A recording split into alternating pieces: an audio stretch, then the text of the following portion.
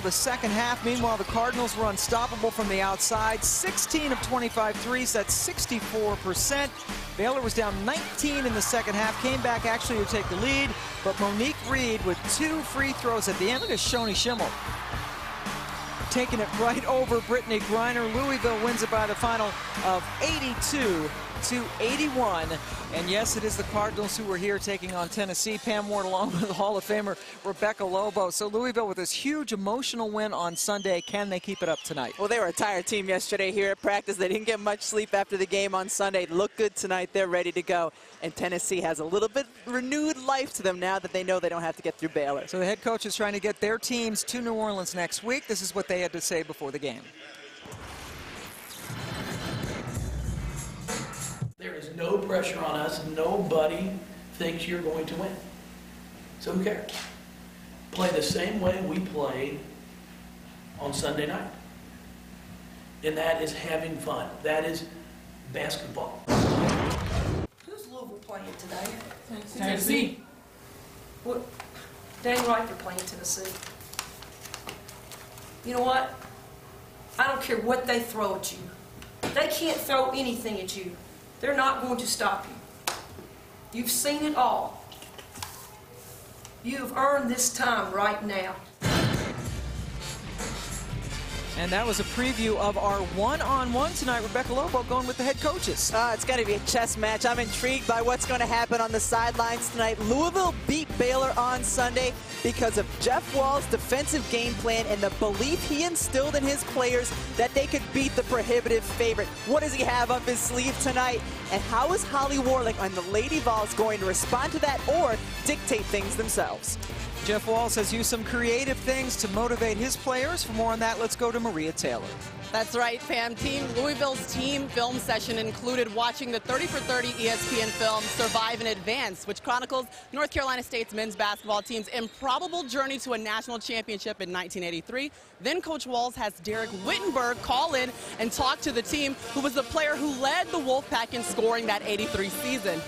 Shoni Schimmel told me that Whittenburg was very complimentary of their game against Baylor and tells them to continue to believe, even though they have plenty of doubters. And Schimmel says they're acting like they are that 83 team here to prove their doubters wrong yet again. Trying to do it for the second straight game. Let's take a look at tonight's Capital One starting lineups. And with Louisville, it's Shoni Schimmel. One of my favorite names to say. Shoni Schimmel has deep range. We saw it on her three ball against Baylor. She's going to need to have another big offensive game tonight. And for Tennessee, Kamiko Williams has been their leading scorer in the postseason. Terrific defensively. She can break it down one-on-one, 5'11 guard. That was... All right, so they're there. It's over. Niele Ivey's going back to the Final Four. What was the final? Not close, right?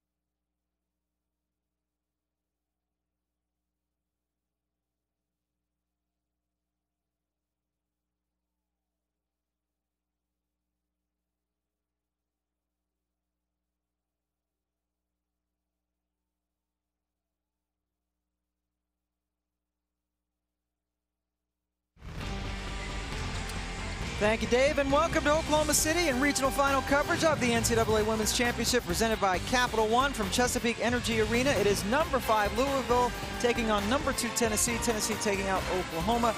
And the winner of this game will take on California, who had to go to overtime to dispatch of Georgia last night. And as you just saw, Notre Dame into the Final Four, where they will play Connecticut for the fourth time this season in one of the semifinals. But Louisville has been the talk, not just of basketball, but really the sports world the last couple of days because of this semifinal on Sunday, bottling up Brittney Griner, who did not make a field goal until the second half. Meanwhile, the Cards made a ton of three-point field goals, 16 of 25, a sparkling 64% for the game. And Shoni Schimmel with a little exclamation point scoring over Griner. Baylor down 19 in the second half, came back to lead, but Monique Reed's two free throws win it, and they take it by the final of 82 to 81, and that's why they're playing tonight. Pam Ward along with Hall of Famer Rebecca Lobo. Maria Taylor joins us in just a minute. The big question is, as emotional as that win was on Sunday, can Louisville do it again tonight? Well, Louisville was a tired team yesterday in practice, but they had a renewed energy here today.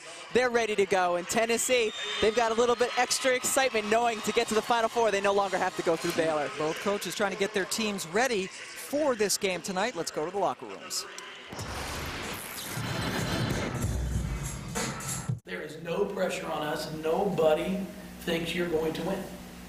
So who cares? Play the same way we played on Sunday night. And that is having fun. That is basketball. Who's Louisville playing today? Tennessee. What? Dang right they're playing Tennessee. You know what? I don't care what they throw at you. They can't throw anything at you. They're not going to stop you. You've seen it all. You've earned this time right now. And that sets up our unusual one-on-one tonight. Well, I'm intrigued by the chess match on the sidelines. Jeff Walz and his defensive game plan against Baylor was terrific, and he instilled a belief in his team that they could win. What does he have tonight? And Holly Warlick and the Lady Vols, how are they going to respond to what Louisville throws at them, or how are they going to dictate things themselves? And Jeff Walz coming with, up with some creative defense is also a creative way to fire his team up. For more on that, let's go over to Maria Taylor. Yeah, Pam, Louisville's team film session included watching the ESPN 30 for 30 film Survive and Advance last night. And then afterwards, Coach Jeff Walz had Derek Whittenburg call in, who was the player that led North Carolina State men's basketball on an improbable journey to a national championship in 1983. Shoni Schimmel says that Whittenburg was very complimentary of their game against Baylor, told them to keep believing and stay the course. And not only that, to come out and prove their doubters wrong. And Schimmel says they believe they are that NC State team, and they are here to do it yet again. And Maria, as we take a look at tonight's Capital One starting lineups for Louisville, it always starts with Shoni. She has the basketball in her hands a lot. We saw against Baylor that she has deep range on the three ball. She's going to hit, need to hit some of those here tonight. And then for Tennessee, Kamiko Williams has been the Lady Vols' leading scorer in the postseason. Big 5'11 guard. She can get up in you defensively, and she can create for herself one-on-one. Megan Simmons, the junior guard who was the SEC's leading scorer at 17 points per game, has been struggling with her shot in the NCAA tournament and particularly struggled against Oklahoma where she was just one of 15 from the floor. Dee Kantner, Clark Stevens, Felicia Grinter, Bill Lawrence are officials tonight, a good crew.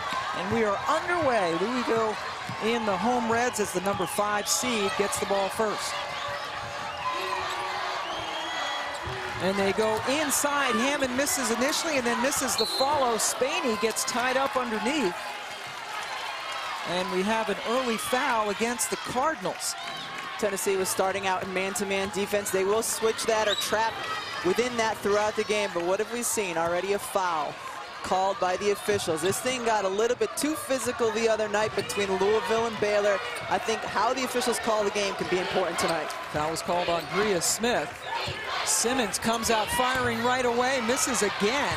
But Kamiko Williams, who has been brilliant in this postseason, gets the rebound. Louisville started this possession in a 2-3 zone defense, but they will switch to man throughout the course of, of a possession. Taber Spani, who's got a nice stroke, can't get it to fall. Rhea Smith comes up with the basketball. She's been the point guard since about midway through the regular season when they shifted Shoni Schimmel off the ball. And there's a whole lot less of Shoni than there was before Christmas. She's dropped about 20 pounds or so.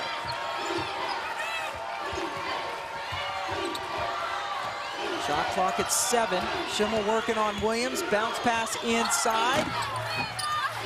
Still waiting for her first basket. Good job by Vails to keep it alive. Now Bashar Graves, the SEC Freshman of the Year, gets the rebound and hands it up to Ariel Massengale. Tennessee so tough in transition, and that was one of the messages Jeff Walz had to his team. You have to get back in transition defense. We have to keep Tennessee off the offensive boards. Inside, that's a great pass to Graves, who was fouled, but Massengale got it right where Bashar needed it. Graves is a player who just demands the basketball the entire possession. I love the way she works constantly. Even if she's not getting the ball, she does not stop posting up inside. But what did you see as soon as she caught the basketball? Three Louisville defenders around her. They're not going to let them have anything easy inside. She was the SEC's Freshman of the Year, also first team All-SEC, the freshman from Clarksville, Tennessee. Committed to Pat Summitt, and then um, when we talked to her the other day, said she didn't even think for a second about not coming to Tennessee after the announcement that Pat was going to step down, and she said it helped a lot that Holly Warlick, the top assistant, stayed on as the head coach. And that was our first point of the night. Williams with a bit of a flop, and Shoni Schimmel with the pose after the three. And that is important. Louisville is a team, when they play well early and they make shots early, we saw it in the Baylor game, their belief grows in their ability to win the game. Schimmel in the NCAA tournament, hitting 48% of her shots overall. Spani now 0 for 2 from the floor. Now Louisville pushing it. Smith working against Massengale, and she puts it in. That's Bria Smith's game. That's what she wants to do. She doesn't want to sit outside and take deep shots. She wants to take it to the rim. Had a good game against Baylor the other night with 13 points. Simmons gets some space but she is still ice cold. She's been struggling with her shot the entire NCAA tournament. She's going to be important for Tennessee tonight. She's now 11 of 41 in the NCAA tournament. Well under 30%. Megan Simmons in the game on Sunday was only one of 15. But the Tennessee coaches said it was a turning point for her because it was one of the few games where when she wasn't shooting well, she found other ways to contribute. Bria Smith to the free throw line. Well, she's only a 62% free throw shooter. She gets to the line more than any other Cardinal, but at 62%, subpar performance. Does get one out of two. That foul, by the way, was on Simmons. She shoots over four free throws a game. That's an area she really needs to improve because the way she plays, you get to the line, you cannot leave that many points uh, on the on the board for your team. Simmons kicking it out to Williams. That missed everything. Rebound comes down into the hands of Smith. She's got Hammond to her right, but she's taking it right to the basket. Offensive rebound followed by Vails, and I think they're going to get Vails for going over the back. So Louisville's had a couple of really good chances in the paint, and that was another instant where they didn't capitalize. Similar to what we saw last night with Cal. Got some offensive rebounds, just not able to finish. But I like the energy that Louisville's playing with right now because that's the question. How do you respond after you played such an emotional game like they had against Baylor on Sunday? And you mentioned they were tired physically and certainly emotionally. I don't know how you could sleep after a after a game like that. I don't think they got very much sleep. Megan Simmons still can't hit. Hammond gets it out to Shoni Schimmel, one on three, and she waits for some help. Antonita Slaughter was huge for the Cardinals against Baylor. Hammond hit a step back three over Brittney Griner in that game. Kid who doesn't normally take threes. I think she had made four on the season yep. before that step back. She was four for 27 before that shot long distance. Bashar Graves is just... How about that? How about your post player getting the steal in the quarter court and beating everybody down defensively, down the other way for a layup. There's a physically gifted young lady who is really developing literally every day. Holly Warlick said that she never lifted weights in high school, blessed with a, a nice athletic body, and she's getting stronger. Tennessee down three early. Smith zips it to Hammond, who was left alone. Lone assignment on that one, it appears. Well, somebody's going to be open because whenever they set the on-ball screen, Tennessee tries to trap that, and she did a nice job of dribbling out of the trap and then finding the open player. Jeff Walz told his team this morning, you know, I know we made 16 threes against Baylor, but I don't want us settling for threes. We've got to continue to attack the basket. Kamiko Williams, so important for Tennessee because she can break you down. When the offense breaks down, she can take you one-on-one -on -one and score. Jeff Walz telling his team that playing passively today will not work. Oh, Hammond. Who said she's not a three-point shooter? She said, if I can score over Brittney Griner on a step back, I can score over you. Hammond, a 6'2 sophomore. Here's a turnover. First of the game. Oh, boy, Smith had a layup in the open court and just missed it. Gale now pushing it up. Spani driving on Hammond, left it short, and couldn't save it. Good decision by Hammond there not to get a foul. She already has one, but Sara Hammond, 18% from the three-point line this season. 100% tonight. The NCAA Women's Championship is presented by the Venture Card from Capital One. Earn double miles you can actually use.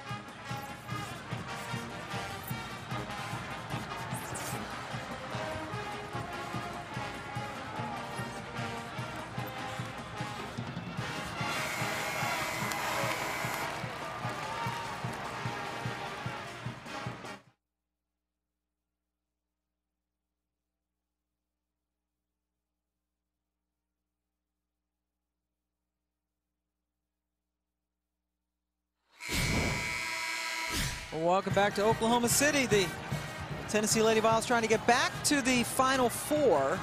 They have not been there since 2008, and they are trailing by six early here, Rebecca. And, and Tennessee, when they started the game out against Oklahoma on Sunday were really good getting one another involved. They assisted on a lot of baskets. They got people going. That hasn't been the case so far. Megan Simmons is one of the players. 0 for 3 right now. She needs to find her open teammates on the offensive end. Shoni Schimmel, who has mad range. Tennessee extends the pressure. Louisville worked against this. And, and, it's a press that they use themselves, so they're comfortable going against it, and they find the open play, and you cannot give Schimmel any bit of room. Schimmel two for two now from three-point range. Extends the lead to nine. Louisville got off to that great start against Baylor the other night. Izzy Harrison, number 20 and white, is in. A key player for Tennessee, but she missed a shot. And what you just saw defensively out of Louisville is what they're going to do in the half court. When they get back and Tennessee sets up, they will play zone, or they'll play man for the first two passes and then go zone. Slaughter, or excuse me, uh, Hammond grabs an errant pass. Second turnover for Tennessee. Here's Jude the little sister of Shoni. She misses. Good interior passing. Monique Reed, who hit the two winning free throws on Sunday, couldn't get that one to go. This lead could be more formidable than 14 to 5. Louisville's missed some chippies. If they just made their layups, especially off the offensive glass. Harrison with the big height advantage over Reed recognizes and takes her. Izzy Harrison is such a luxury to have coming off the bench. She will block shots defensively, but she can give you that as well, a scoring presence inside. A couple inches taller than Reed, the redshirt senior. They're matched up under the basket right now. Jude Schimmel in to run the point as Bria Smith takes a break. Hammond has been really aggressive offensively. Sara Hammond has come alive in this postseason, had a great game against St. John's in the Big East tournament, and then has been playing really well since the tournament started. Had a double-double against Purdue in the second round. Harrison with the miss. That's a good follow by Jasmine Jones, a freshman for Tennessee. It's a missed box out by Shoni Schimmel. You have to understand when you're Louisville that the Tennessee guards, just like their post, will attack the offensive glass. Simmons with some pressure on Jude Schimmel. I know there is no 10-second backcourt violation call in college women's basketball. That needs to change. Yes, it does. Shoni all the way. Man, she's just good. She's got some kind of confidence. She has no problem taking it at big post players. We saw that with her ridiculous behind-the-back shot against Brittney Griner on Sunday. In which she drew the foul and got the three-point play opportunity. Always been confident and gone to a, a next level because she's certainly delivering. Shoni takes it right by Isabelle Harrison and then flips it over her back to Hammond. And they're saying Hammond was not fouled. It's a more flash from Schimmel, that time on the pass. Simmons, that's just they need to take Megan Simmons out of the basketball game. She's, she's struggled with her shot. She's struggled with her pass right now. They need to get her out, sit down, and watch for a bit. She is certainly pressing Jeff Walz's team up 18 to 9 as we take a timeout.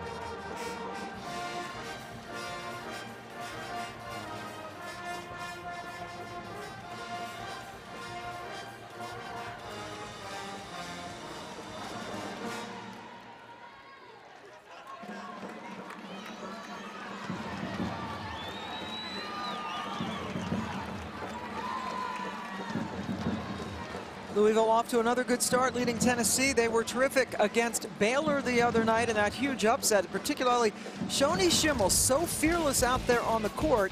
6'8 Brittney Griner, about a foot taller than Shoni. She doesn't care. She took it right to her, got the basket with the flip over her head, and then afterwards talked to Maria Taylor in the locker room about it. Felt like at times you had ice water flowing through your veins. What gave you the confidence to even go at Brittney Griner and being able to score over the top? Um, I mean, she's human, so just to go at the, her and just continue to keep going at her was just, I mean, my mentality because, I mean, she's Brittney Griner, but I'm, I'm Shoni Schimmel, so I'm going to keep going at her, you know, so. She is indeed Shoni Schimmel, and I like what she said uh, earlier. She said, "I'm not feisty, I'm emotional." She was able to put some sort of a of a of a, a chasm between those two things. But she is uh, certainly a confident young lady, and again, you know, she looks great. This is probably the best physical shape she's been in since she's been at, at Louisville, and she's playing at a terrific level. 20 pounds heavier, she doesn't make that shot over Right. Brittney Griner. Sees Tennessee now in a 1-2-2 zone. Jude Schimmel with the miss. As we quickly go over to Maria Taylor, who is listening in at the uh, Tennessee huddle. Yeah, Coach Warlick basically telling her team they have to get more dribble penetration, and it doesn't matter what kind of defense Louisville is in, so stop worrying about it and attack, attack, attack on offense. And we see that Megan Simmons is not in there. And, and we heard also uh, Coach Warlick talk about that in the pregame clip we showed. So when, when somebody says, don't worry about it, to me that says we're worried about it. It, it doesn't mean you're worrying about it, it means you're thinking about it. And, and what Holly Warlick told her team yesterday is they were running through different offensive sets. She said it doesn't matter if they're in a man or a zone. This will work. She doesn't want her team to be thinking about it. Hammond goes up in the air, and they're going to get Hammond, I believe, for the foul. And if so, that is her second. NCAA Men's Final Four begins Saturday on CBS at 6 Eastern when Wichita State, the Shockers, take on top seed Louisville for an opportunity at the national championship. For more information, go to ncaa.com. And we talked about Megan Simmons, and I'm glad she's on the bench now and has a chance to kind of calm down a little bit. She has three of the team's four turnovers, 0 for 3 from the floor. This is a kid who led the SEC in scoring this year. She's a vital weapon for Tennessee. She needs to collect herself. Tennessee 0 for 6 from 3. Simmons with a couple of those misses from long range. Chip Walz told us that the first five minutes would be crucial for Louisville. They have passed that with flying colors as we hit the 10-minute mark. Oh, Cierra Burdick working hard to get into the lane. Another player who had a lot of starts this season and then because of injury started coming off the bench, but she brings an added dimension for Tennessee. She's a very good high post passer, can shoot that shot. Missed eight games after fracturing a bone in her hand. 13 points, six rebounds, and a couple of steals against Oklahoma on Sunday. Jude thought about it, Jude Schimmel, but did not shoot. The sisters from the state of Oregon as the shot clock winds down. Jude measures it and gets it. She was two for two from the three-point line against Baylor. Gotta understand that she doesn't have the range her sister has, but she can still shoot the shot. Shoni telling us that she and Jude are best friends. She said often Jude is the one who calms her down. Personalities are different. Shoni asking for the foul, doesn't get it as Kamiko Williams takes it and makes it. I think what Shoni wanted was a kick ball. Nice job by Kamiko Williams. She really has been steady her senior year for this Lady Vol team. And that's a player that Holly Warlick said she never thought she would come to rely on her as much as she had. Fun-loving kid who finally let things click in and has embraced a leadership role now as a senior. Nobody on this Tennessee team has played in the Final Four, which is really staggering when we're so used to seeing them. They've been in 18 Final Fours. Hammond thinking she's a three-point shooter, missed that time. Good job by Reed, though, to chase it down. Jude Schimmel all the way in with the flip. Wasn't quite the over the shoulder that her sister showed us, but still a nice take. She's about three inches shorter than her older sister. The whole Schimmel clan has made the trip here all the way from Oregon to see their two girls play. Leah Smith in a battle. Burdick able to knock it off of Smith, so it's Tennessee basketball with 11 seconds left on the shot clock. Vails and Spani coming back in for their respective teams. Jeff Walz bought that shirt here in Oklahoma City. He only brought one to the regional, so did he even believe that his team was going to beat Baylor? I don't know. Has not worn a tie and a, and a jacket and or a jacket for quite a while now. There's a blocking call against Louisville. So Shoni Schimmel, she's got a bit of flash to her game. Jude Schimmel not so shabby either. Louisville leading the Lady Vols.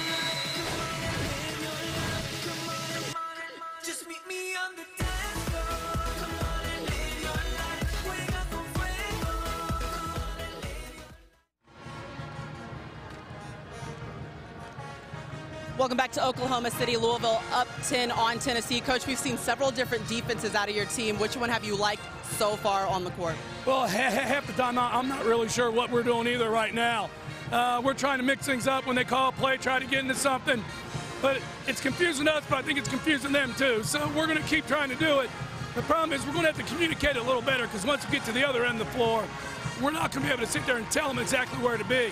I'm pleased with how hard we're playing. We've got to continue that, but we can't settle for threes.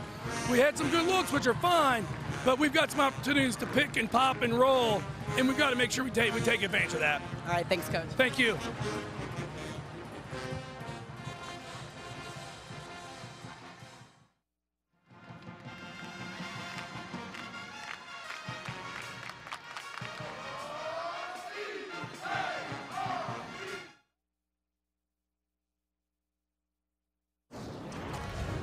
Welcome back to Oklahoma City. Louisville up 10 on Tennessee. Coach, we've seen several different defenses out of your team. Which one have you liked so far on the court? Well, half the time I'm not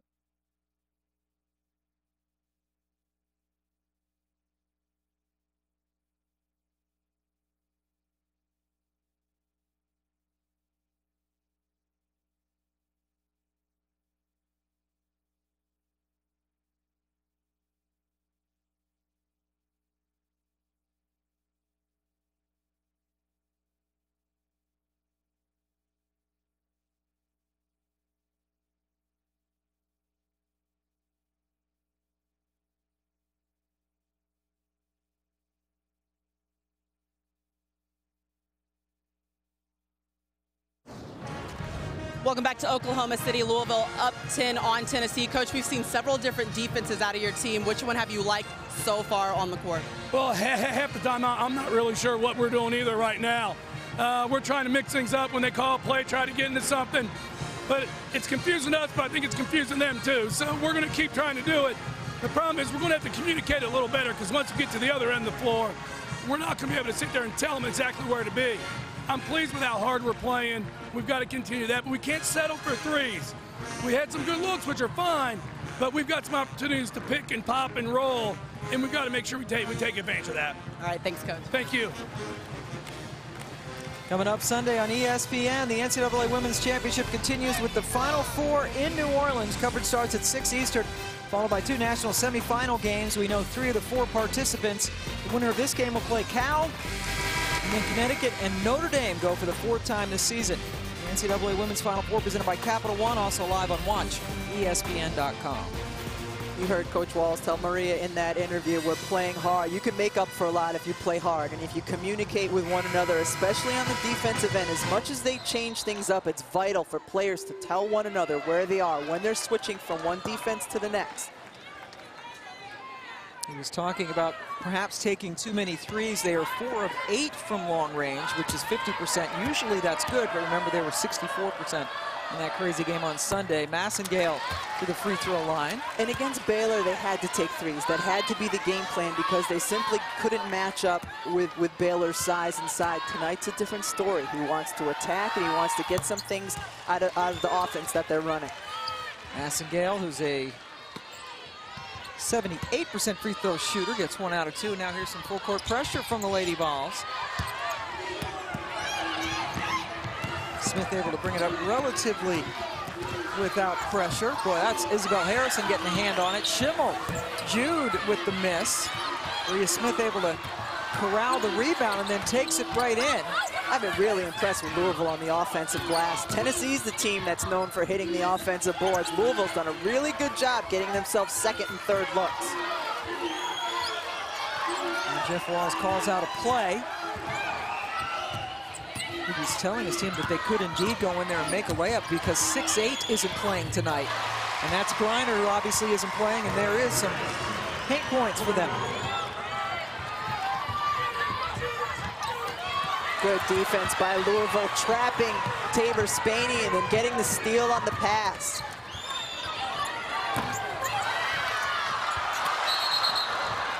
Oh, foul called against Tennessee. Holly Warlick complaining about the foul against Ariel Massengale. That's her first. This is another situation where Yeah, just good hustle by Bria Smith to step in front of that pass and get the steal. Shoni ran all the way under the basket from the other baseline to get that shot off. An offensive putback, no good by Smith. And now Spani calls a timeout. Bria Smith's done a great job of getting the offensive board, but then once she collects herself, she's surrounded by bigger players, and she's not been able to finish.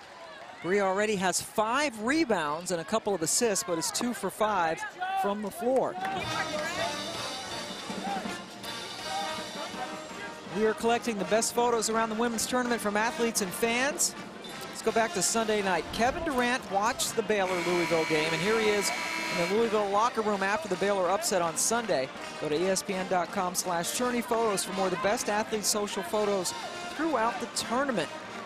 Kevin Durant saying it was one of the best basketball games he has seen. And uh, it was very cool. He went back into the locker room, and Courtney Walton, the, the, the freshman forward, actually gave a, a, trying to hug Durant, hit one of I think one of Durant's bodyguards, right? I, I think she hit the bodyguard yeah. out of the way so that she could hug okay. Durant. I don't think it was accident. Okay. Now, now you see Louisville extending the full court pressure defense. The bodyguard did get out of the way so that Walton could get a nice photograph. Now an offensive foul against Tennessee. Taber Spani coming down, trying to get things going. Right now, Tennessee's got to liven up defensively. That's how they're going to cut back into this lead. They need to get stops and ideally get out in transition. Megan Simmons back in the game. Neither Simmons nor Spani have scored for Tennessee. Between them, they average about 28 points per game. There it is. There it is. Tennessee, a nice job just getting the deflection and then causing the jump ball.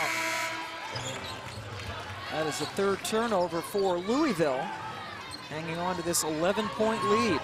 You refuse to say it like they say it there. I used to say Louisville, and then everyone there said, no, Louisville. I, I sound silly. You gotta, I, I know you, but you have to say it the way the natives say it. Louisville. Uh, maybe not. Never mind. Thank you. I'm going back to Louisville now. Now you know why. I, I gotcha. Only a native can say it like that. I'm doing my best. Williams unable to get it, tries to chase it down, but Jude Schimmel is able to outrace her.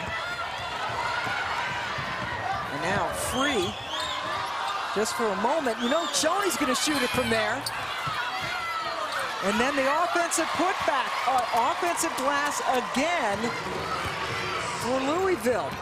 Slaughter's first bucket. She's the kid Slaughter, yes. who had seven threes the other night. She's their best three-point shooter percentage-wise, and she was the one who really got them going the other night. And sometimes when your shot's not falling and she was 0 for 3 before this, a great way to get yourself involved is to attack the glass, find a way to get an easy one, and she gets in there and finishes. And not only what she did offensively against Baylor, but she was the one who had the primary defensive job of face guarding Brittney Griner and just did an outstanding job with that.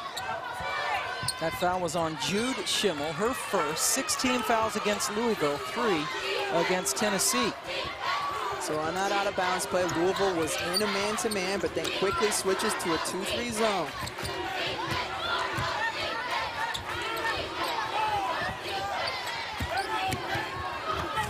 Jones took steps, and they called a foul. I think they called the charge. Yep, they, Jazmine Jones picks up her first personal.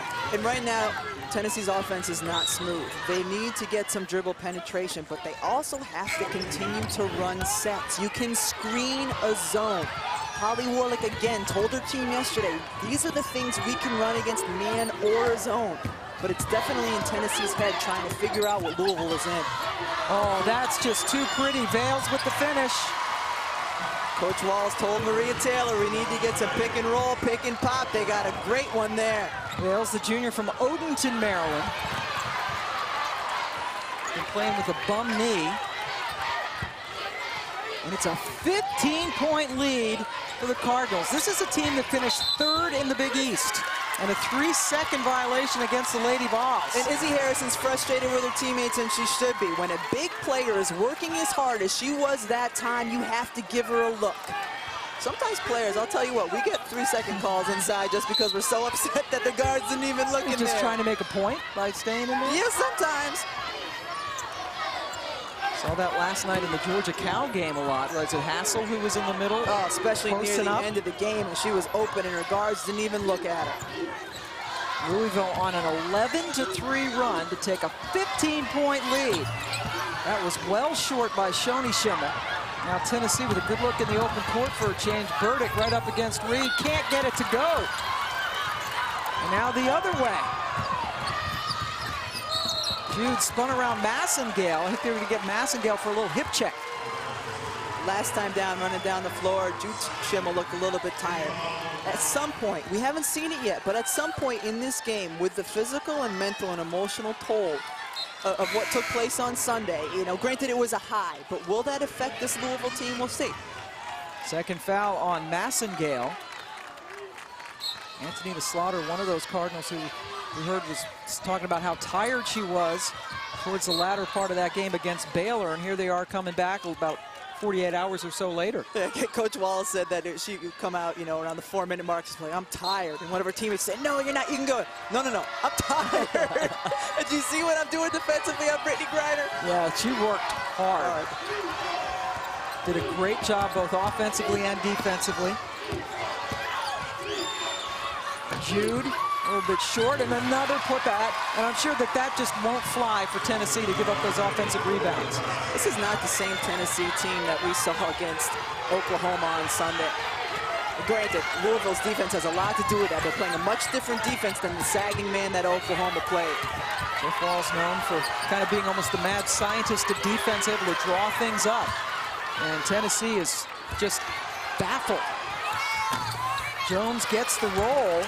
She's got a couple of field goals. But it's not like he's a mad scientist putting all that a ton of thought into it. You know, we asked him today, you know, he talked about we're going to go play man, and then after two passes, we're going to go zone. And they worked on it today, and he said, I just came up with it just now. We just worked on it a little bit, and that's what we're going to do. Whatever it is, it certainly is working. Tennessee with just 16 points, they're down big to Louisville.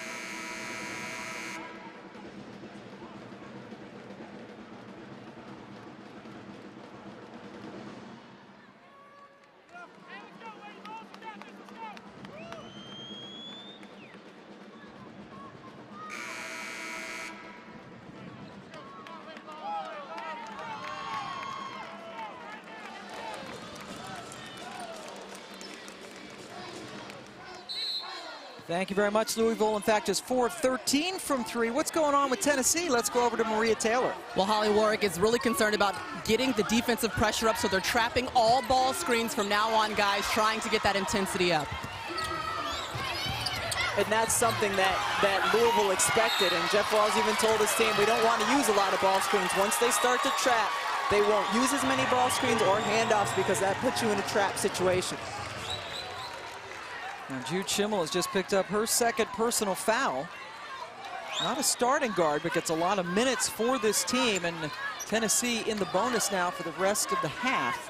Isabelle Harrison to the free throw line. She has two points. Obviously, Tennessee with just 16. Megan Simmons has not scored for them. Neither has Taber Spani.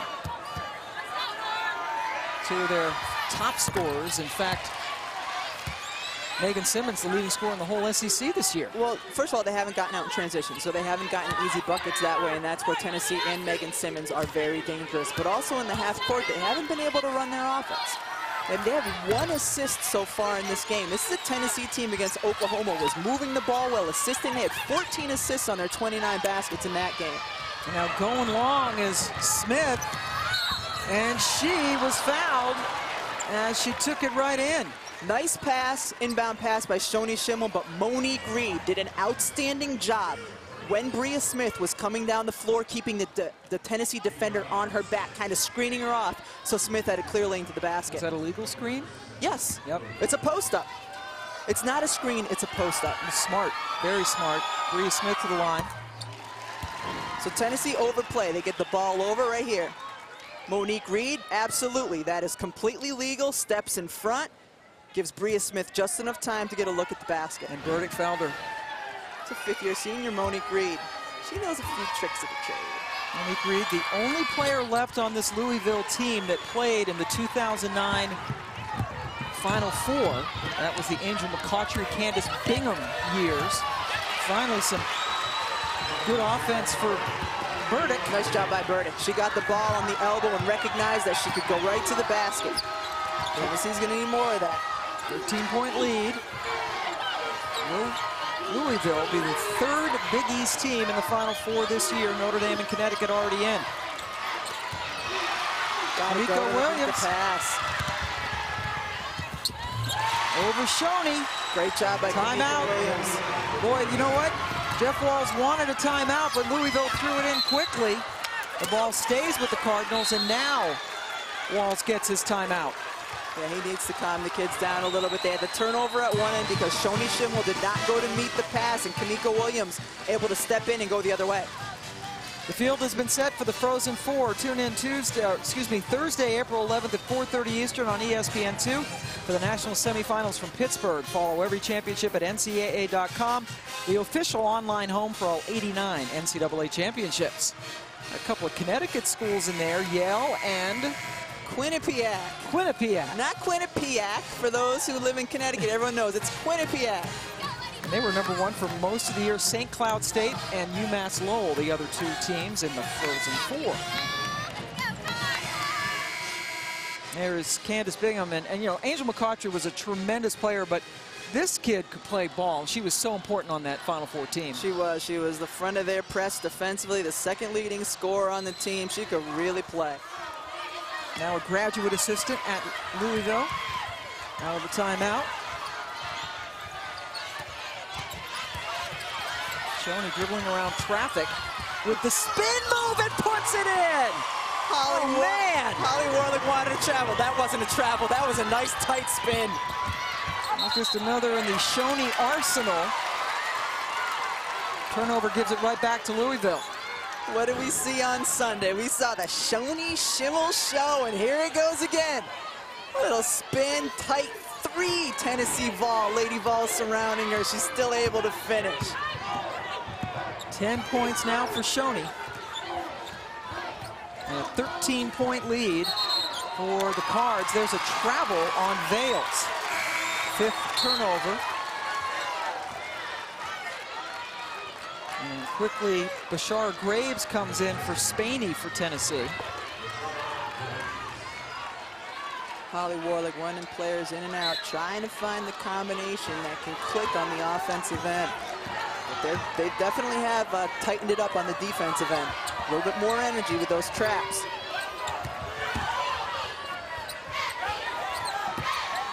So neither Simmons nor Spani in there. Those are their two best outside shooters. Burdick has given them a really nice push off the bench tonight. Burdick has come in and confidently hit that 15-foot shot, taking it to the basket. She's looked the best offensively for Tennessee so far. Six points leading the way for Tennessee. Another long pass. Beautiful. Right to Jude. Sister to sister. One way to beat the press. As we approach one minute to go in the first half.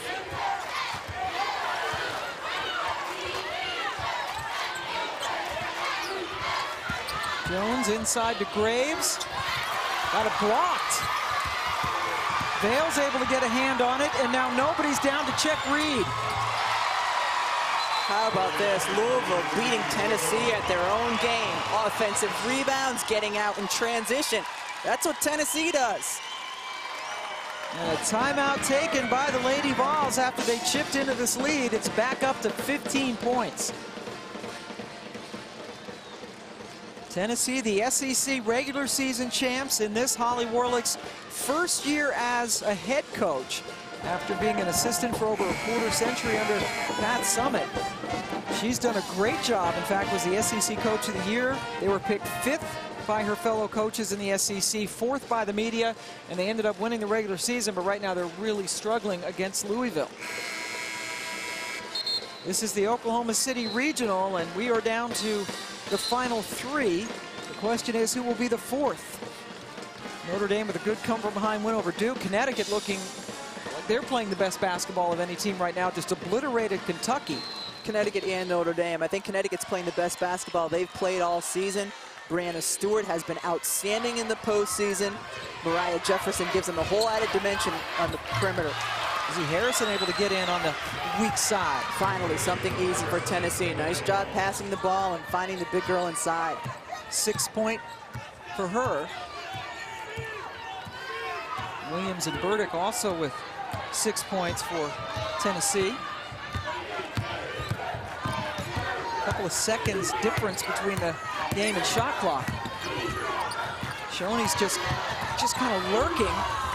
How did that pass get into Reed? Beautiful, beautiful pass by Jude Schimmel. And now Williams at the buzzer just a little bit too strong. Can Louisville do it again? So far, so good for the Cardinals. No hangover so far from the big win over Baylor as they are leading second seed Tennessee 41-26. Shoni Schimmel playing well again. She's with Maria Taylor. Shoni, you guys have led this game by as many as 15. What do you think the biggest advantage is offensively right now for your team? Uh, I wouldn't even say it's offensively. It's our defense. Our defense is what gets our offense flowing. Us playing defense is just getting our offense going. We're executing, and that's what's helping us too. And defensively, you guys change it up a lot on the defensive end. What's the key to staying balanced defensively? Um, I mean, just going out there and executing what coach says to go out there and run defense-wise, and um, just mixing them up and keeping them on their feet, not knowing what we're doing. All right, thanks, Shoni. Thank you. That defense has been good. SEC leading scorer Megan Simmons has no points. You know who that is? That's Shoni Schimmel. She is Shoni Schimmel, and she and her team leading. Let's go to the Northwestern Mutual halftime report. Kevin Negandhi, look at the Schimmel sisters.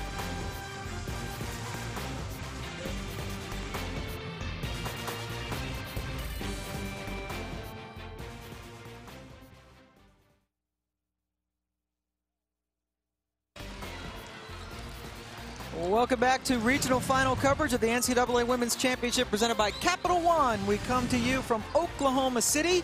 And at the half, number five Louisville, who dispatched a top seed Baylor on Sunday night, doing it again, up 41-26 on Tennessee. And Tennessee usually is a great rebounding team, but not tonight. Uh, Louisville is doing a terrific job getting to the offensive glass. 10 offensive rebounds, in that first half, 10 second chance points off those boards. They're just getting in there. And finally, in later part of that second half, finishing when they do. And Tennessee is paying so much attention to the three-point line that they're giving up things inside. Bria Smith's not even a three-point shooter, and they're trapping outside. Remember, it's a Louisville team that before their game against Baylor was only making five threes a game. It's not what they do. They made 16 of 25 against Baylor the other night as Smith gets inside. And your point about Bria Smith, well taken. She is 0 for 6 from 3 on the season. So to say the least, she is not a three-point threat. And this Tennessee team down by 17 now. And in case you're wondering, the Baylor lead, or the uh, Louisville lead over Baylor was 10 points in that game on Sunday. A lead that eventually went up to 19. Megan Simmons stays cold. Let's go over to the third member of our team, Maria Taylor. Yeah, guys, I talked to Holly Warlick. She said her biggest concern right now is her team is simply playing scared and they're not rotating on defense. She said they have to recognize that they're 0 for 7 from 3 at the half and they need to look the ball inside to Harrison and Graves. And she said she's not very concerned about Simmons being cold right now and that someone else is simply going to have to step up. Bashaara Graves at the free throw line misses, and uh, she should be concerned about Megan Simmons. Uh, 0 for 3 today, 0 for 2 from 3. So here in Oklahoma City, she is a she's 1 for 18 from the floor. And Holly Warlick saying her team's playing scared. I just simply think they're thinking too much. They know that Louisville is the team that beat Baylor and that Louisville is a team that switches up their defense. Okay, well, what are we going to run? Got to simplify things. Come down. It's still basketball. You can still run certain things. Great job, Megan Simmons, with that steal. And this is one thing that Tennessee can do is turn you over and score in a hurry. Kamiko Williams with eight. We'll start this half out in a 1-2-2. Full court press. Louisville did not have difficulty with it in the first half. a lot of long passes. Shoni Schimmel zips it up to Slaughter, who spots up for three. That is her first of the night. Remember, she had seven of them on Sunday. You're Tennessee. You don't want to see Slaughter get going. Junior from right there in Louisville. Louisville starts out in a zone defense as well, but you never know. At one point in the possession, they may switch up and go man. Spani now 0 for 4 from the floor tonight. She has not scored. Neither has Simmons. Shoni time. Got to know personnel. And when Bria Smith comes inside and you get on her, you've got to know that Shoni Schimmel's the three-point shooter on the, on the baseline. 20-point lead, the largest of the night, but Spani gets her first shot to go. And there's a quick timeout. We saw a whole lot of this against Baylor on Sunday. Louisville taking the three-point shot. What makes them dangerous, it's not just one player. It's not just Slaughter. It can be Schimmel too.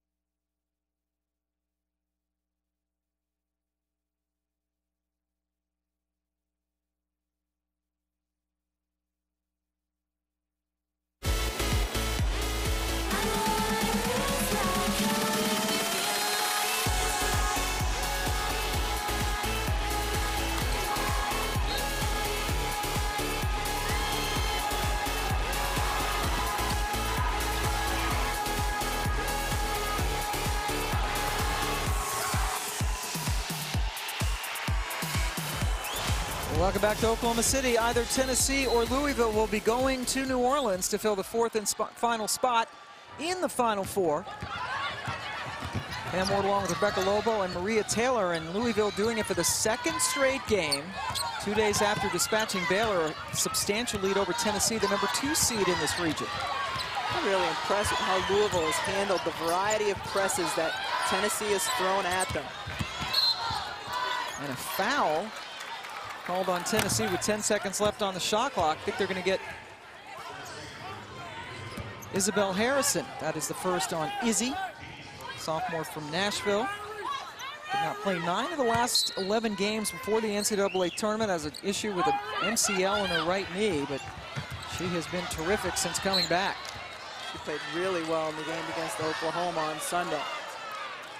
19 minutes, 12 points, 5 of 7 from the floor, a team high 8 rebounds and 3 blocks. She has certainly been a key factor for them in this postseason run. That's a nice move by Sara Hammond, the first McDonald's All-American from the state of Kentucky, and she went to Louisville. That's normally where you say nifty. That was crafty and nifty at the same time. Crypty. Sara Hammond on the block patience. When post players have patience, they can assess where the defense is on them. And Harrison's a taller player, but Hammond just fades to get the shot off. Good steal by Graves. Graves taking it right into the paint. And then a good offensive rebound, and Hammond's going to be called for the foul on Jasmine Jones. That's three on Hammond. This is what Tennessee has to do, is continue to attack the glass, Sara Hammond looks straight up to me. I don't think that's a foul. They called on Reed? No, they called it on Hammond. I agree with you. That was uh, that's a really difficult call for Hammond. I thought if anybody, maybe they would have gotten Reed for the reach in, but indeed it is Hammond's third foul. And she's going to be lifted in favor of Jude Schimmel. So Louisville going a little smaller right now. I have to say, though, it's slightly or ridiculously less physical than it was yeah. in the Baylor Louisville game totally on Sunday. Different. totally different. Completely different.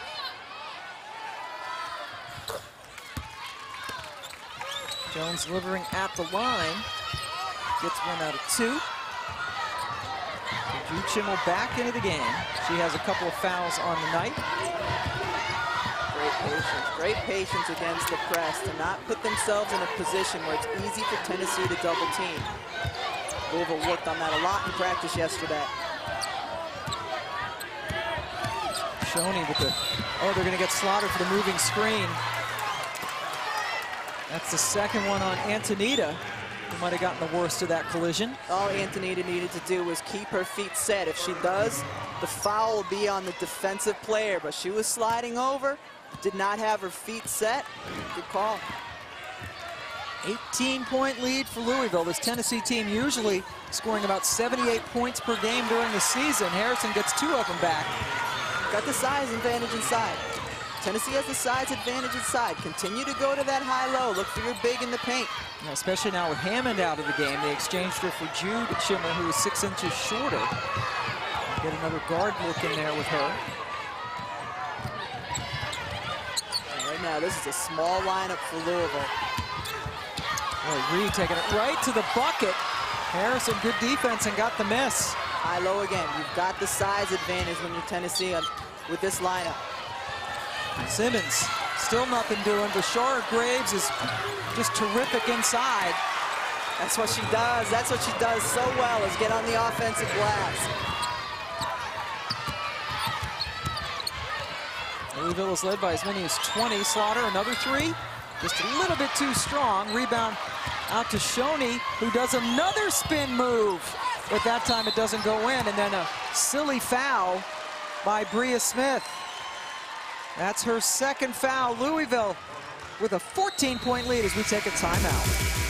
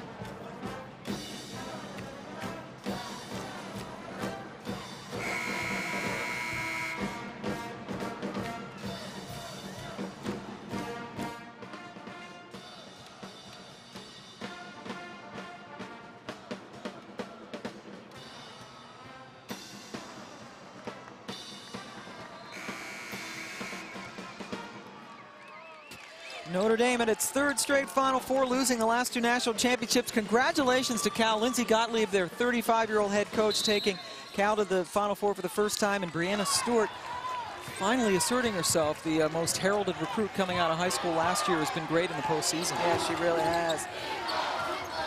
Who will be the fourth team? Right now, Louisville, where they've been in the driver's seat since this game started. Led by 15 at the half. Meighan Simmons still has not scored in this game. And, and this is a player who really, you, you kind of always know how she's feeling. Very much uh, wears her emotions on her sleeve and certainly on her face. She does, and uh, she wears her emotions on her face. And uh, well, you know what I mean. You can tell I know exactly what you mean. And, and this is a player who this is a player who can get hot, and Tennessee needs her to get hot uh, because she can be so dangerous, especially in transition. But she can hit the three-point shot. She needs to find her her own offense here in the second half. Louisville now in, a zone defense, but after a couple passes, they will go man. So it can be confusing to the team trying to figure out what to run offensively. Meighan Simmons stays cold. She is 0 for 7 in this game. And then a foul on Tennessee after the miss. And uh, during shoot-around today, Jeff Walz was out there and he came up with that idea to, to shift after a couple of passes. And one of assistants said, why? And he said, why not? That was his response. And he told us afterwards that that just sort of came to him at the moment to try that tonight. He said he didn't even spend all that much time thinking about what they were going to run defensively on Baylor. Good job, Bria Smith, taking it into the paint. This is her game. Bria Smith's game is not to shoot threes. He, Jeff Walz wants her to become a better mid-range jump shooter in the offseason, but that's what she does well, is take it inside. Burdick called for her second personal foul. Much like Hammond's, I thought she was straight up without a whole lot of contact there. So Smith, sophomore from Massapequa, New York, misses the free throw. Monique Reed with the rebound. And a fresh 30. So important, so important to box out when the other team's shooting free throws. Kamiko Williams was the one who initiated that change of possession, and then she got the bucket. But another long pass, Reed hacked by Williams on this end. Monique Reed has done that well in this game. That's the second time where she's trailed the play. That's a way to put it nicely. She hasn't hustled back on defense. Louisville's taken the ball out and made the baseball pass down to her. Reed was a terrific player at the beginning of her career, but then had microfracture surgery and has not been the same player since. Got that bulky brace on her left knee, but she has certainly come to play tonight. Redshirt senior. She actually was a ball girl, grew up in Louisville and was a ball girl for the Louisville women's basketball team when she was a little kid. She's an important piece to that team that went to the Final Four her freshman year. Her sophomore year, 18 points, over nine rebounds a game, and then injuries took their toll, but she's still been important. Obviously, she's the one who hit those free throws to give them the lead against Baylor. And this is a kid who missed the front end of a crucial one-on-one and one late in the second half and is only about a 70% free throw shooter on the season, but when they needed the two, she gave them the two. Spani, that's nice knifing across the lane. Her second basket. Louisville continues to have no issues with Tennessee's pressure. Oh, contact there. They're going to get the charge. Spani drew it. And Jeff Walz is frustrated because Bria Smith got hit out on the perimeter. She got bumped, and that should have been a foul call. Right there, she got hit by Jones. And then when she gets inside, gosh, that's a tough call. And that is the third personal foul on Bria Smith, starting point guard for Louisville. And then a charge, an offensive foul called on Tennessee.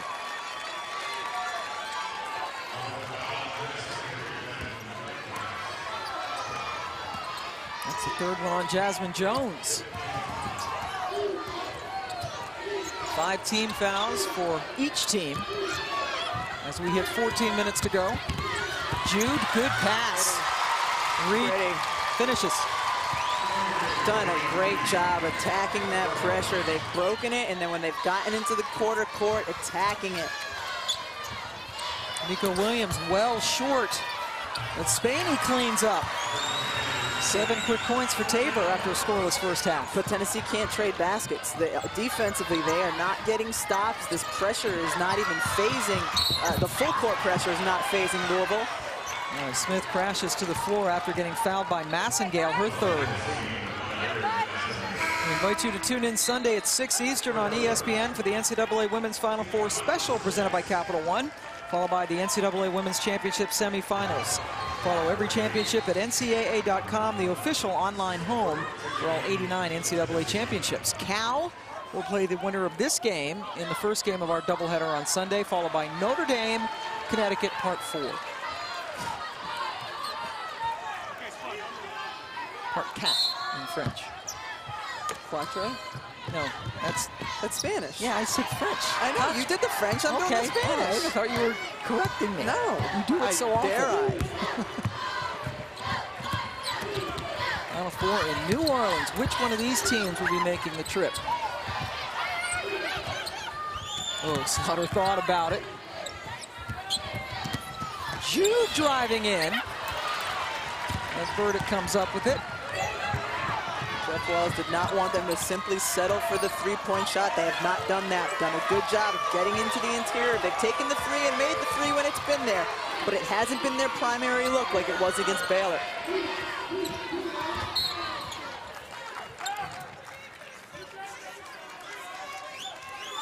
Louisville's done a much better job than Tennessee when they've gone against the zone of getting dribble penetration and getting to the backside of the defense, cutting and passing. 15 seconds left on the shot clock. Jude went for the steal. Williams gets it inside to Isabelle Harrison, who turns and makes it look so easy and smooth. And she's got the size advantage on all of these post players for Louisville. I think they need to continue to look at Isabelle down on the block. And now the lead, which had been as many as 20 points, trimmed back to 12. Contingency of uh, Lady Vol fans up on their feet.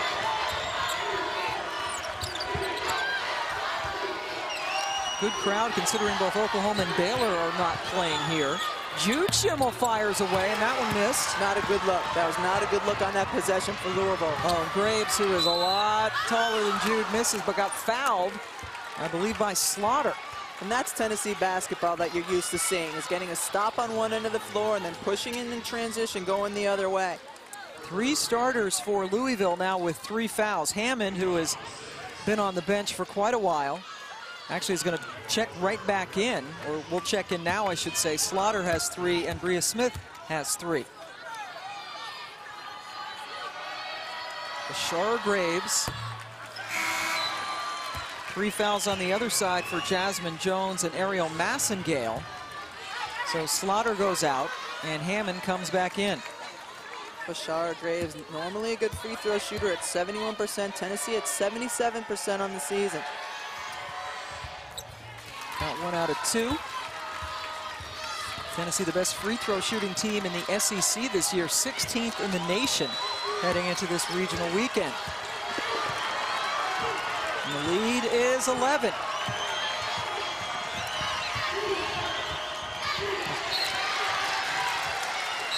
And we have a timeout on the floor. When we come back, we will hear from Holly Warlick, the head coach of Tennessee, trying to get her team back in the game.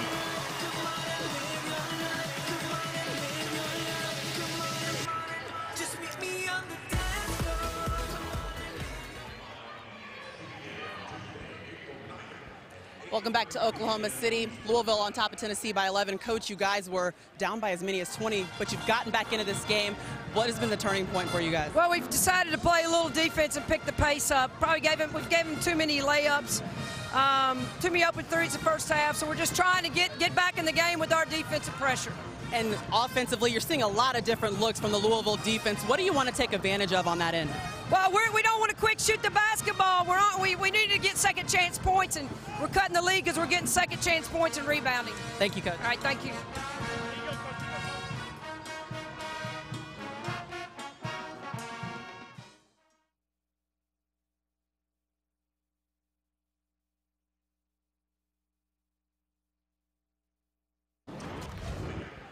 Welcome back to Oklahoma City. Louisville on top of Tennessee by 11. Coach, you guys were down by as many as 20, but you've gotten back into this game. What has been the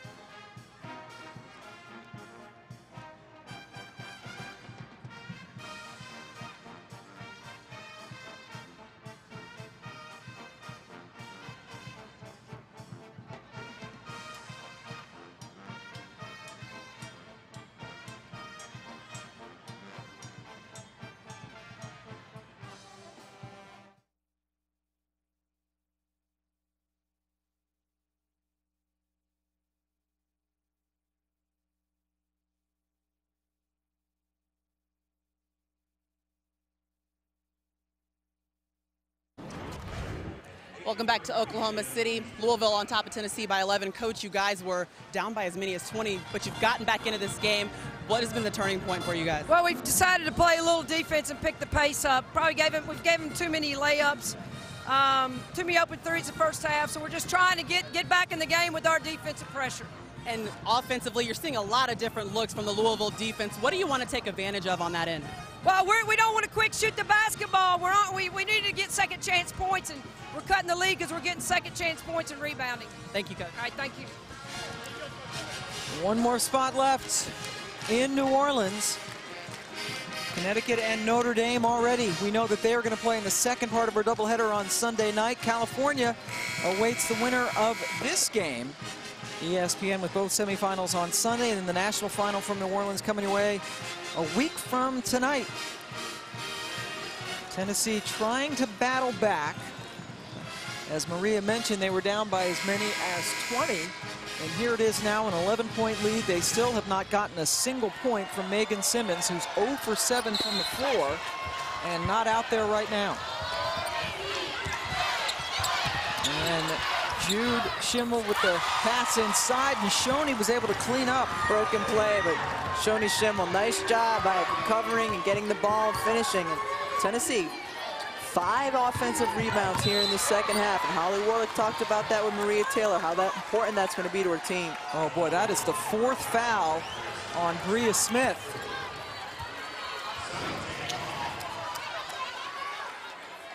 That's just silly. There's no reason to go for that steal right there, and she's using the left arm. That's going to be contact. That's going to be a foul.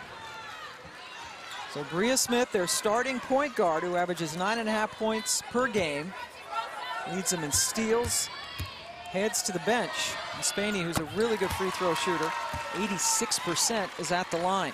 Bria Smith also the best player at dribble penetration and getting to the interior of the defense.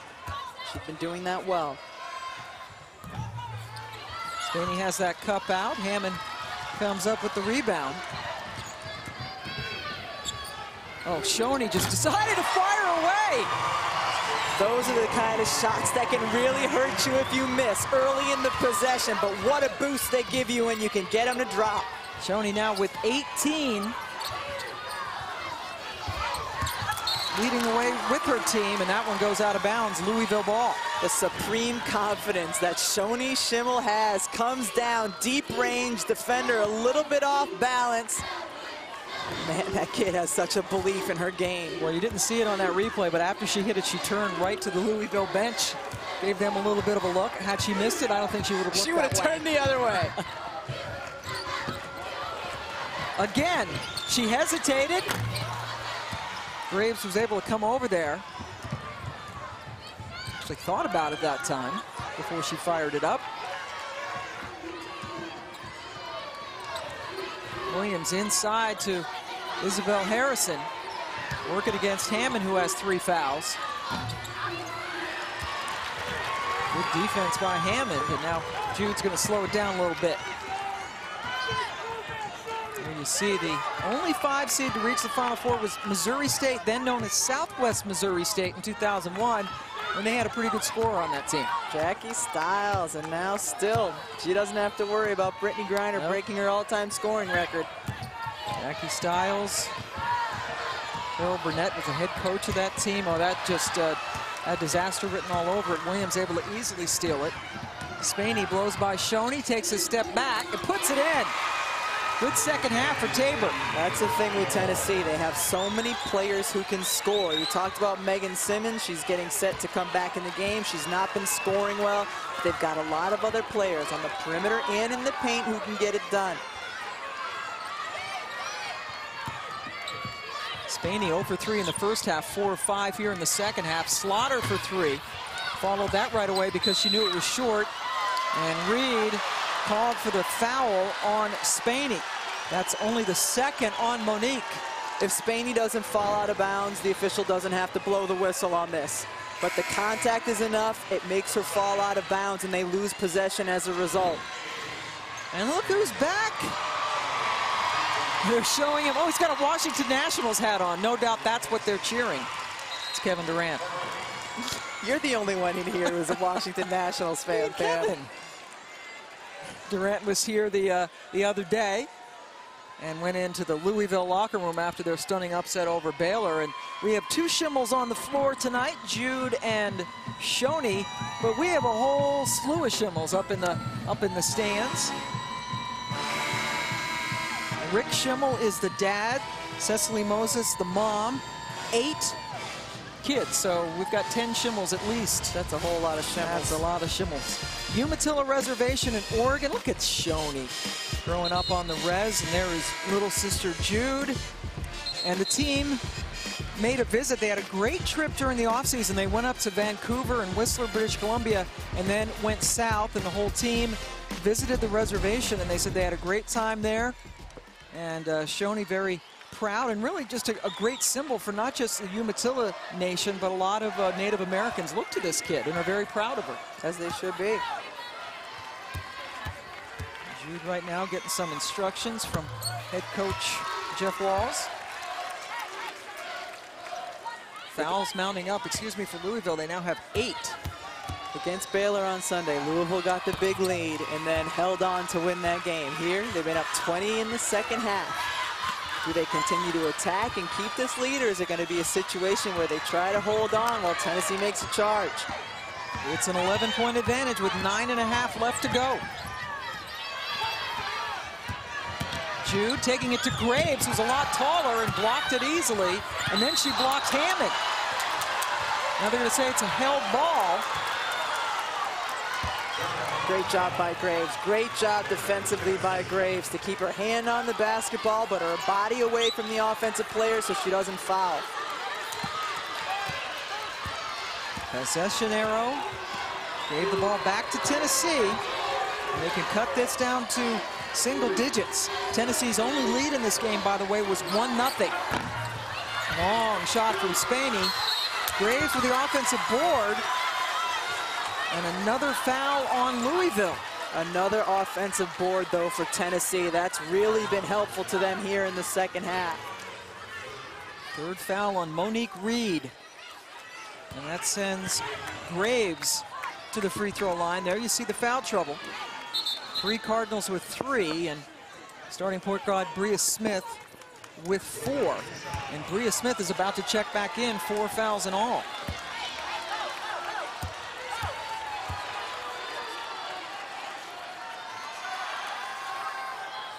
Two-shot opportunity for Graves. Ninth team foul against Louisville. So Jude Schimmel comes out. Bria Smith, the starting point guard, back in for Louisville. Jeff Walz wants Bria Smith's ball handling ability in the game because his team's had a little bit of difficulty with that Tennessee pressure last few possessions. Graves gets them both. And it is only a nine-point lead for Louisville. Oh, that's a bad pass. Louisville will hang on to it, however. Graves a little slow getting up. Louisville's a team that can ride the wave of their own emotion. You saw the confidence they had early in the game when they got that lead, and now that they're struggling, they need player, probably Schimmel, to settle this group down, make them believe once again that they can be the giant killer.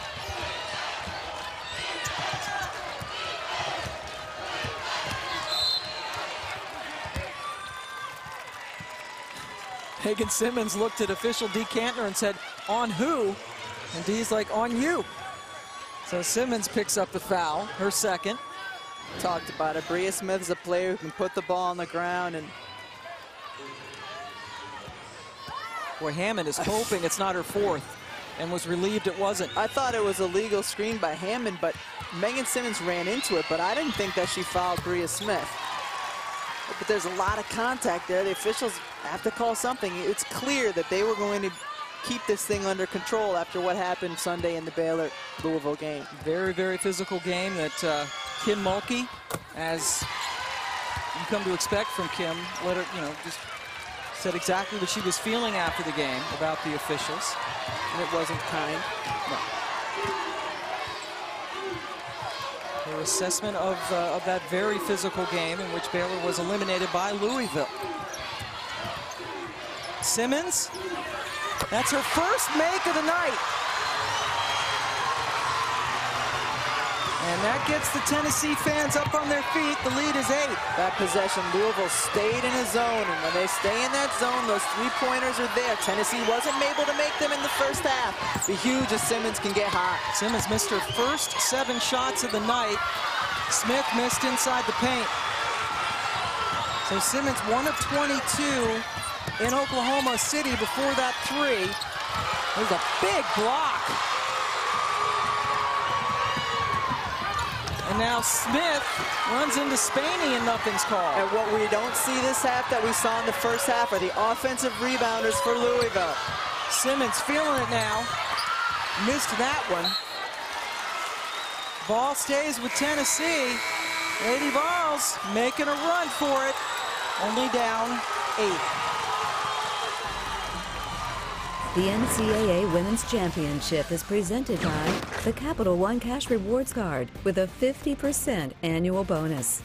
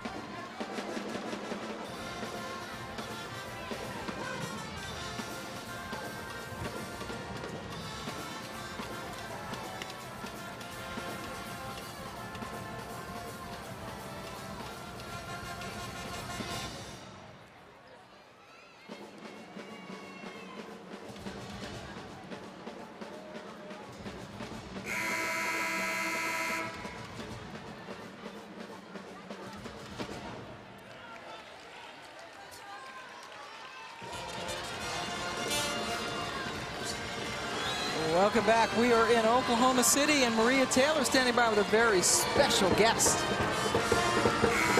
That's right, Pam. It's Kevin Durant. And you came back for a second dose of women's basketball. You told the Louisville team that that was the best game you've ever seen when they beat Baylor. Why was that? Well, it was such a well-coached game. You know, uh, both teams play hard. Baylor was down 20 points and end up uh, taking the lead. And this is a crazy turn of events. But, I, you know, I love women's basketball. You know, they play so hard, so fundamentally sound. So I had to come back and support.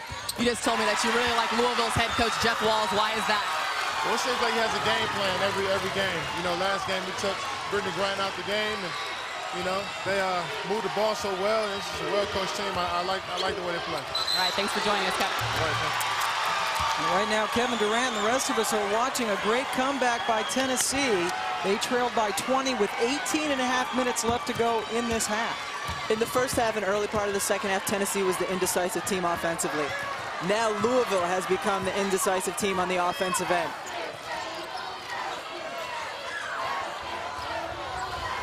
Holly Warlick talked about in her interview with Maria Taylor, the second chance points. That's been the story.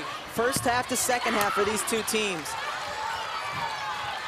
Well, let's see if Louisville can hang on. They did have a 19-point lead in the second half against Baylor on Sunday, and then they fell behind momentarily on Odyssey Sims' two free throws before coming back to, to win on Monique Reed's free throws. Similar scenario shaping up here. Hammond gets the friendly roll. Winner of this game will play California on Sunday night. Massengale, or excuse me, uh, Simmons hit that one three, and now she's missed her last two from the floor. But getting to the offensive glass again for Tennessee. And the foul by Louisville, putting Tennessee at the free throw line. Fouls became an issue for Louisville against Baylor, and that's now four on Slaughter. And it puts Izzy Harrison at the line. She is a 70% free throw shooter.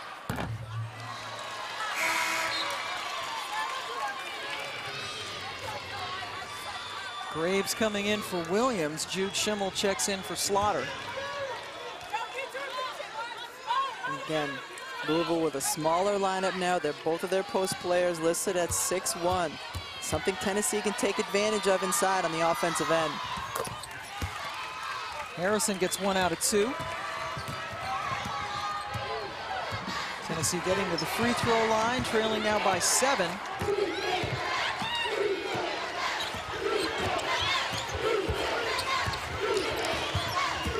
Simmons is chasing Shoni all over the floor. That one just a little bit too strong.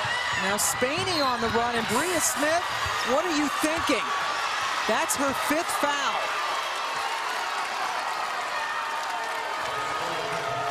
You can't risk it there. We saw it on her fourth foul. She had a reach in with the wrong hand. The officials blew the whistle on that one. You know you have four fouls. You know how important you are to your team. There's just under six to go. You do not risk it. Bria Smith, a sophomore, and this is a young mistake by a young player. The ball's all the way on the other side, too. Spani dribbling with her right hand.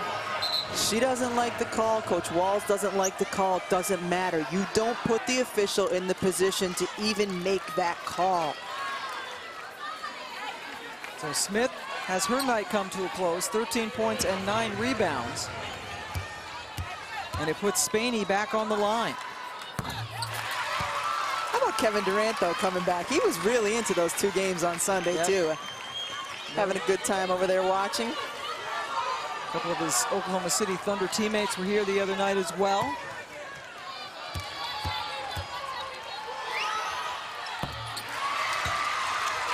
Offensive rebounds and free throw line. Been Tennessee's friend the latter part of this second half. And a 20-point lead has been cut by 75%. It's only five-point advantage now. Hammond just a little bit too strong. Spani could not hang on to the rebound. And now all the Louisville players, as soon as a shot goes up, instead of attacking the glass, they're getting back defensively. But Tennessee's in a man-to-man. -man. They know they have the size and quickness advantage right now. Contact and a foul on Tennessee as Reed hit the deck. They're going to get Simmons again. That's three on Meighan. And her teammates go over there, try to calm her down a little bit.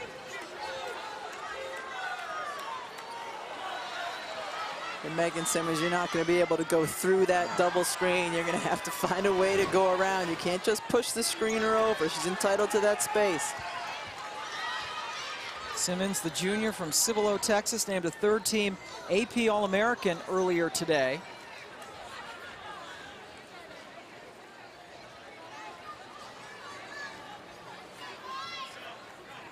They're going to review. They cannot review to see who the foul is on. They can review to see that they have a correct shooter going to the free throw line.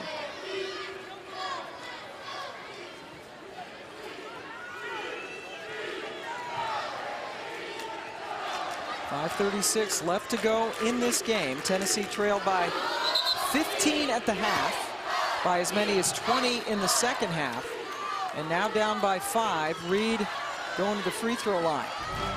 NCAA Women's Championship continues like the Final Four in New Orleans. Coverage starts at 6 Eastern, followed by two national semifinal games. The NCAA Women's Final Four presented by Capital One, also live on WatchESPN.com. Who will California play? We'll see.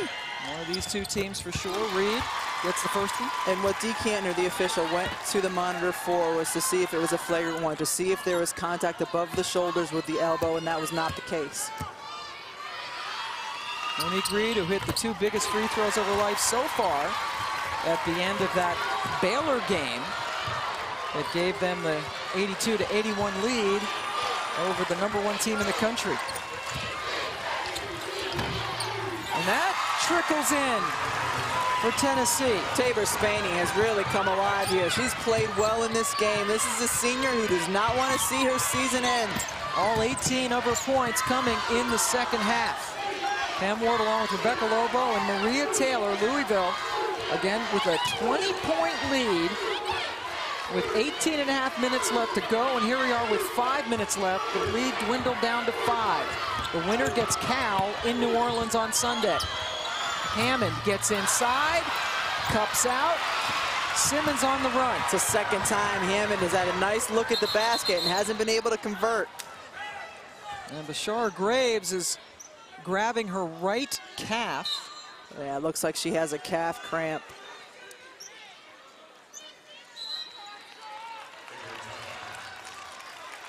So 4.46 left to go in the game. Tennessee trying to continue this furious comeback.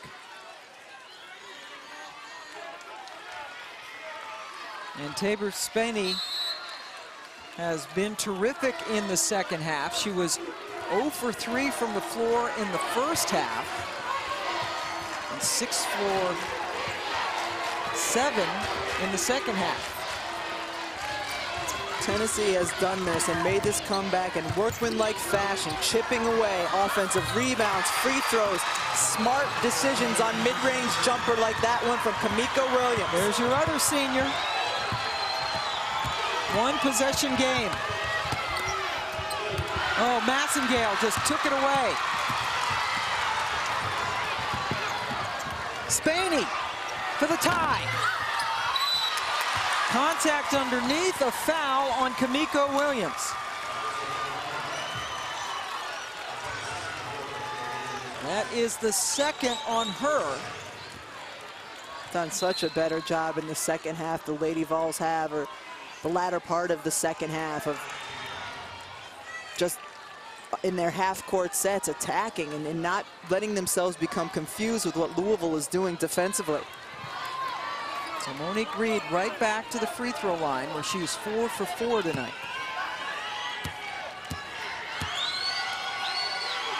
One and one. Got it.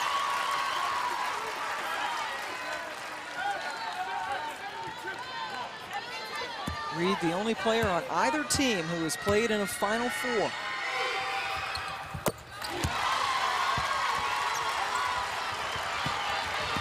Gets the lead back up to five as we hit four minutes left to go in the game. Showing the zone, but will Louisville stay in it or they go man? Outside shot off the mark, rebound taken down by Jude Schimmel, the smallest player on the floor. Great job, because when there's three-point shots put up, those are long rebounds. The guards have to help to secure those defensively. Oh, Tennessee, two of 17 from long range. Usually shooting about 36% out there, best in the SEC this season. Slaughter from way downtown. Now Massengale on the run, tried a tricky bounce pass, and then fouled. That's four on Ariel Massengale. 3.23 left to go. Louisville clinging to a five-point lead.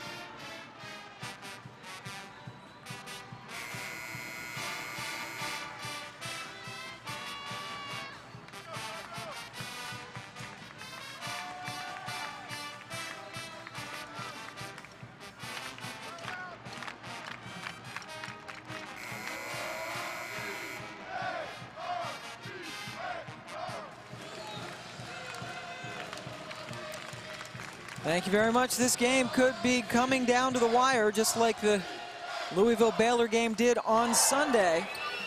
But Tennessee right now down five. Both teams in the double bonus for the rest of the game. Jude Schimmel,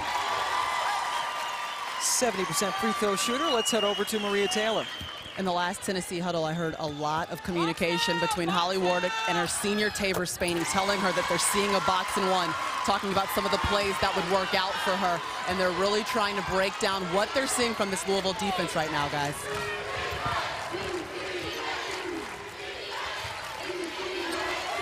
Jeff Walz coming up with a game plan to disguise his defenses. Simmons fires, hits. That's one of those shots. If it doesn't go in, that's a terrible shot. But it does go in. And, and right now, we talked about it in the first half. Is there a cumulative effect in terms of Louisville's energy and coming down from that Baylor win? I mean, Meighan Simmons just, what a tough shot to hit over a post player for Louisville.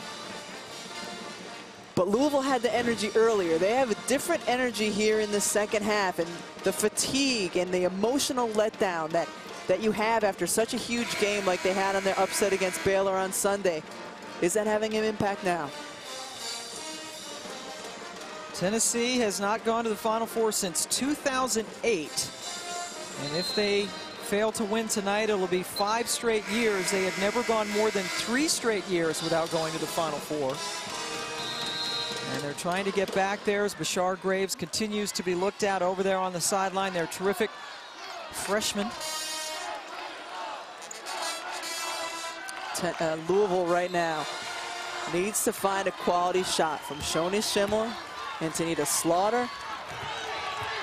Those are the two players that have been able to carry them offensively for stretches. Yeah, you see the leads that Louisville has had evaporate the last couple of games, but Shoni Schimmel says, give me the ball. You see her when she picked it up, she cupped that thing like a running back and took it in there so she could finish. That kid's got no fear. 20 for Shoni. She had 22 against Baylor. That missed everything. Rebound taken down by Slaughter. And now Shoni Schimmel slows it down. Louisville, the fifth seed in the Oklahoma City Regional. Beat Middle Tennessee, upset fourth seed Purdue, and of course the big win against Baylor. Jude! Jude Schimmel hit two huge threes against Baylor as well. Kevin Durant liking it. Simmons answers. But they do need to get stops. It's a six-point lead inside of two minutes. Shoni all the way to the bucket. Forget about milking the clock. That kid knows one mode, and it's attack mode. Simmons. That time no good. Rebound battle for Kamiko Williams. Wins it. Simmons with the drive, and she's called for the travel.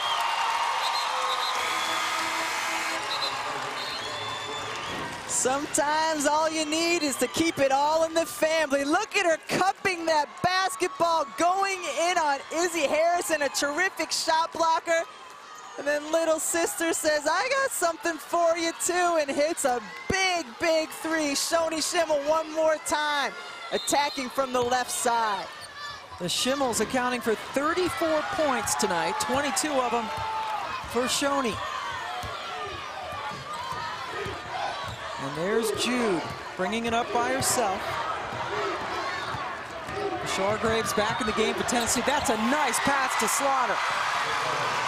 This is the Louisville team we saw early in this game, the one that got that 20-point lead. Louisville up by 10, time running out on the Lady Vols. Held ball, alternate possession arrow, keeps it with Tennessee. Stay with us right here on ESPN. Sports Center is coming up as soon as we are finished in Oklahoma City.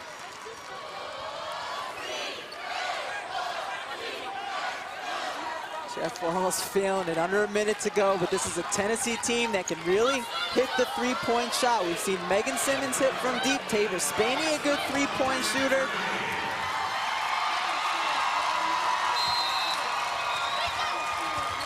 Williams with the throw into Burdick. Louisville done a much better job on the defensive glass in this run as well. Foul on Hammond, I believe. That is her fourth for Louisville. With 48.7 seconds left.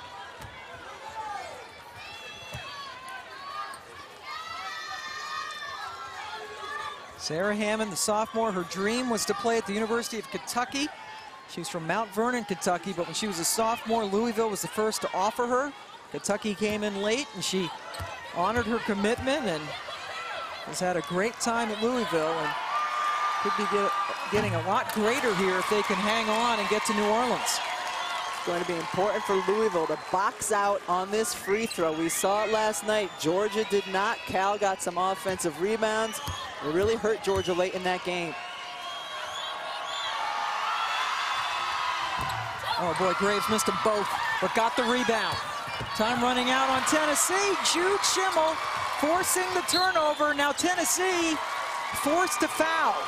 Those free throws really hurt them. Not only the two points that were left that they didn't get, but if you make that second free throw, you can set up in your full court pressure. At least have an opportunity for a steal. Instead, they don't get the two points and they have to foul. Shoni Schimmel, the junior from Mission, Oregon, has had another terrific game. She had 22 against Baylor. Now 23 and counting, so she is tonight's Capital One player of the game, doing it with flair and flash. Just toughness, man. She's And got some toughness. And flair and flash. I think that they're going to kind of like her down in New Orleans. Be careful, Meighan Simmons. You know she's going to take the three. And she hits it. You don't want to foul, but you have to play a little bit better defense than that. That's her fourth three, Oh, all of them here in the second half, and Jude Schimmel wisely pulls it out. Burdick fouls her with 32.7 seconds left to go. That was a risky pass because if that goes out of bounds without touching anyone, Tennessee gets it all the way back on their end of the floor. But it didn't. No, it did not, and now Jude can go to the free throw line. Big sister on the money to little sister. Jude Schimmel last year as a freshman only averaged about 12 minutes per game, averaged under two points per game, and she has come a long way and become a major contributor in this her sophomore year. Jeff Walz has confidence in his player at the free throw line because he's the one who took that timeout. He doesn't think he's going to ice her. Louisville with two left, Tennessee just one remaining, and it's always a pleasure to watch Shoni Schimmel highlights. It's just fun to say the name Shoni Schimmel. I mean, deep range. She doesn't hesitate to take it when it's there, but she did this well. She had a few spin moves inside, not afraid to put the ball on the floor. Made good decisions, just strong when she was taking it in the lane. How about that little crossover too? Right hand, left hand. Seen the whole deal from Shoni Schimmel tonight.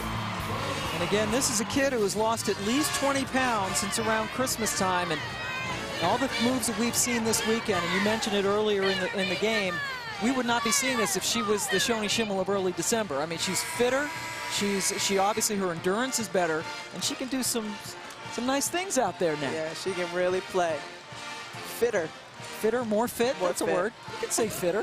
you can whatever I say whatever want. you want, fam.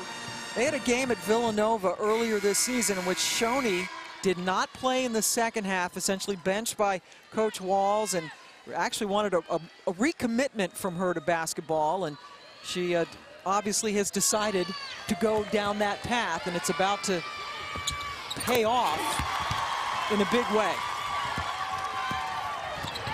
Extending pressure, just making Tennessee take some more time off the clock before they can hoist a shot. Taber Spani. You'll take that. Let them take the two-pointer because they're going to foul you and you're going to get it the other way. All 20 of Taber's points coming in the second half. Williams can't score, but Graves can. You got to take threes at this point if you're Tennessee, though. You've got to take threes. Seven-point lead. They get it inbound to Jude Schimmel, and she is fouled with 11.3 seconds left to go. So Louisville basketball team that was picked third in the Big East behind UConn and Notre Dame, 11.3 seconds away from joining those two powerhouses I don't in think, New Orleans. I don't think this is a year that anyone expected that there could be three Big East teams playing in the Final Four. Louisville going to go in another year to the ACC, the Big East, going through that huge, what would you call it?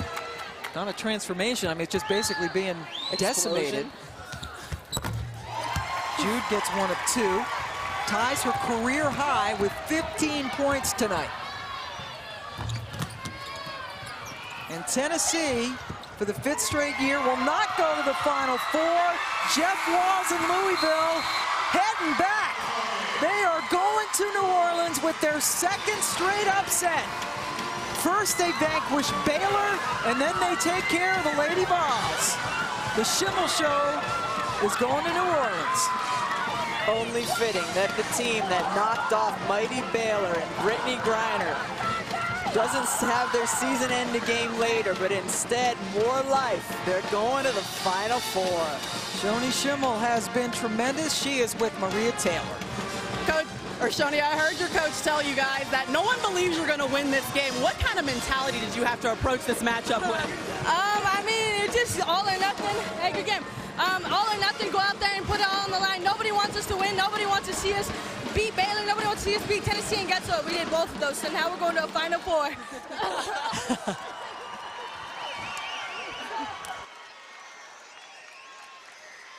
Well, Coach, since you, enter, you put yourself in the interview, Love you. the question for you is, you told your team that no one expected them to come in here and get this And we- victory. we- what were you we ruined saying the to entire them? party. What were you saying to them? We're the ugly ducklings that ruined the party. And that's what we love. Nobody gave us a chance in either of these two games. And we shocked everybody. Everyone talks about our defense. We just hung 82 on a great Baylor team and somehow figured out a way to score 85. We haven't scored like that in, in about three months. And I don't know where, how we started making shots, but we did. And I'm just so proud of every single one of them. It is a journey, and we're going to continue it.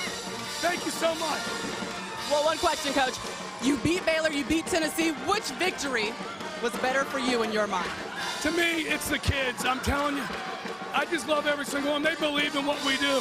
I told them the last minute and a half, I'm hard enough on them in practice that they're prepared for this situation. And that's my job to make sure they're ready for this. I didn't make a shot tonight. Jude Schimmel played unbelievable. Bria fouls out with six to go, and we still find a way to win. I'm so proud of every single one of them. All right, I'll let you go celebrate with your team, Coach. Thank you.